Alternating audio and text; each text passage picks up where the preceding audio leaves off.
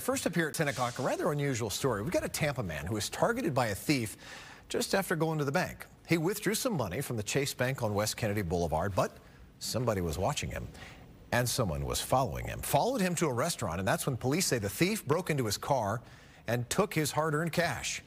Fox 13's Jordan Bowen's on our newsroom tonight with more on this. Uh, hi there, Jordan. Now, you hate to hear this, uh, but apparently this is part of a much bigger scheme here, right? Yeah, Mark, the crime is known as bank jugging and refers to when a criminal stakes out a bank or an ATM, waits for someone to withdraw a large amount of money, then follows them to their next location to steal it.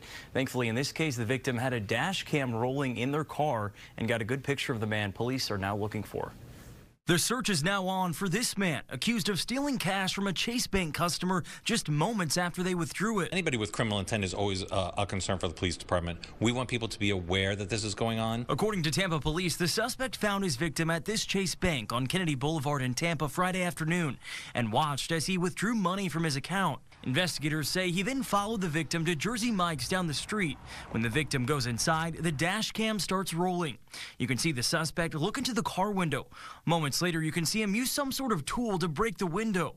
He then removes the glass and starts rifling through the center console, pulling out $100 bills and white envelopes from the bank before getting in the passenger side of this white Kia Sportage and taking off. Tampa police say they've since learned the suspect may have ties to the Houston area. It appears that this suspect may be involved in a group who works between Houston and the Tampa Bay area.